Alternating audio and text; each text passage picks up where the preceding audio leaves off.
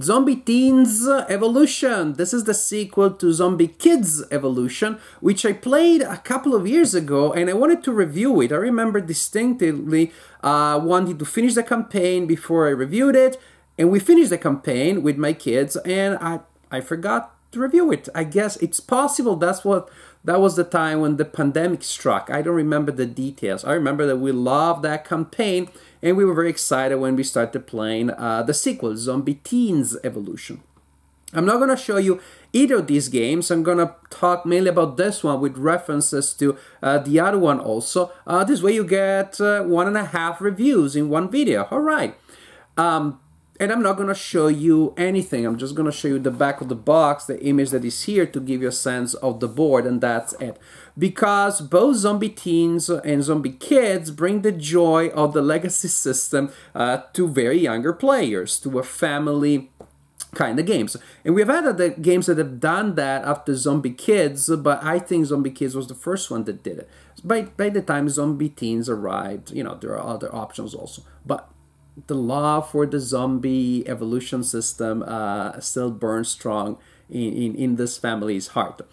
So in Zombie Kidz, uh, the, the zombie apocalypse has started. The kids are trying to uh, find shelter in their school and they need to lock the doors of the school. Both games are cooperative, so both games play with all players working together attempting to complete that objective. Zombie teens uh, were a little more angsty and proactive. This time our zombie teens, the survivors, are trying to, um, to, to move around components that will need to find the cure. In both cases, of course, you have situations where the zombies overrun certain areas of the board and that causes the players to, to lose. And of course, uh, on the other hand, if you can complete the objective of the of the of the scenario, the objective of the game, then you win the game cooperatively. These are legacy games. They come with envelopes. I guess I can show you the, the sealed envelopes. They come with envelopes that uh, will contain components that you're instructed uh, to reveal only as the game progresses, only as you complete certain objectives. There is a campaign system and you complete adventures, you will add stickers there, and that will also tell you when you reveal uh, a new envelope. There are also, as in many legacy games, rules that you, uh, st stickers representing your rules that you attach to the rule book. Uh, there are different missions. I really can't show you anything from here. Different missions. Maybe this way. No. Different special missions. You can uh, basically achievements. So inspired by video games. If you win a game uh, using specific rules, uh, using specific challenges, then you get extra stickers. Kids love to attach stickers, and I'll tell you, I like that too. So nothing wrong with that. So these stickers will regulate the unlocking of different abilities and different rewards.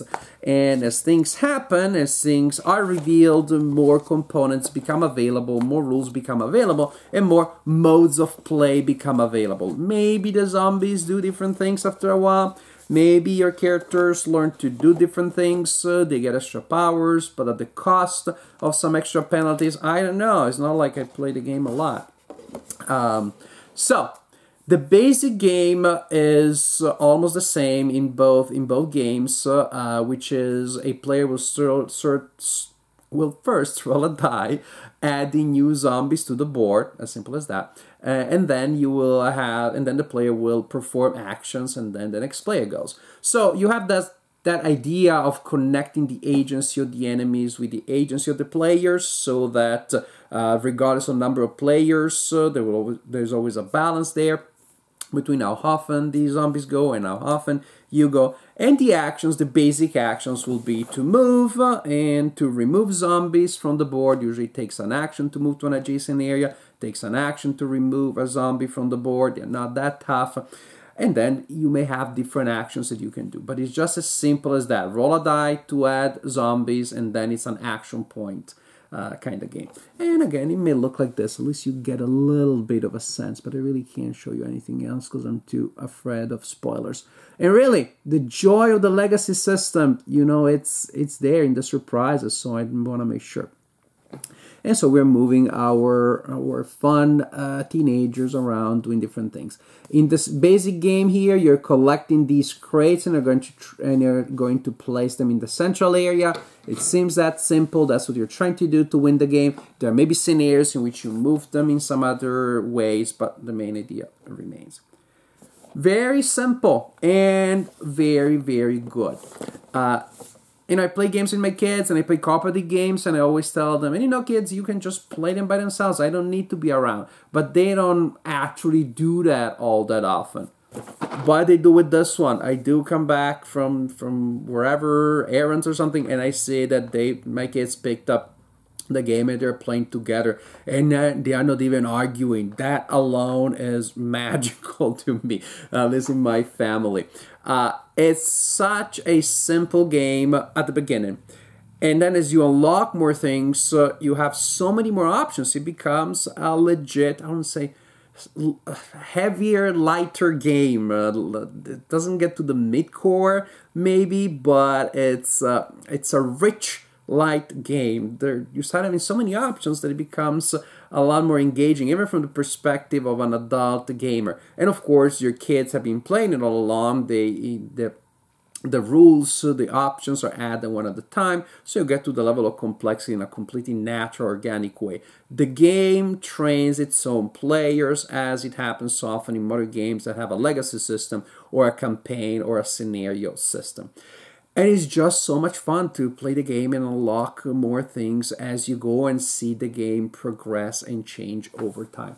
So uh, i love legacy games. We, we all do. They have been a smashing success in the last decade or so of gaming. They're just so incredibly appealing. But as you know of course there's an overhead there. Uh, they tend to be complex. They tend to require uh, a certain level of a degree of engagement the idea that finally kids or exhausted adults that from time to time just want to play a quick, simple uh, solo um, legacy game, the idea that we have the very light option open to young kids or exhausted adults, that's awesome. That's fantastic.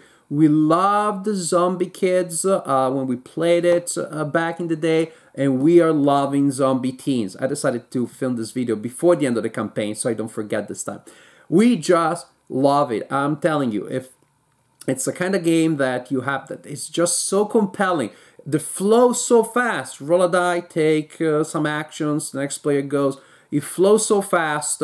It moves so fast. There's so much action, so much tension. Now, between the two at this point, I don't know, maybe because I'm playing it now and so I'm excited about it. I think I prefer Zombie Teenz. I think I like the flow of the game better. Uh, in order to move these goods, you really have to coordinate with people in interesting ways. You have to form chains as you transfer those crates. Um, the flow just seems to to to be more interesting here in terms of what the players can do, in terms of how the how the zombies act. They become a little smarter now. They they take over location they place a trampoline in it and that helps them jump to different areas of the board. So uh, they're kind of easy to to keep under control but when at the beginning when, when they start placing those ridiculous trampolines um, the game escalates faster i would say that which also to me makes uh, with a game with a lot more tension.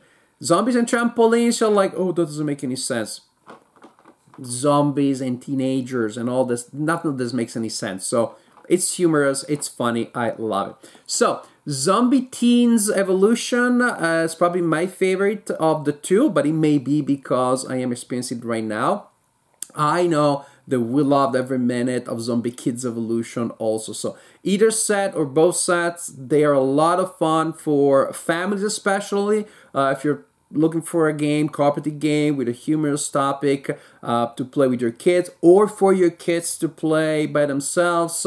Look no further. Zombie Teenz and Zombie Kidz Evolution are great ways in which kids can be um, uh, can be exposed to the magnificent legacy system. And, you know, you're training them for then the big legacy games, which is you know an added bonus. Have them play this now they'll be able to play Frosthaven with you when they're teenagers, and that's not a small advantage, I believe.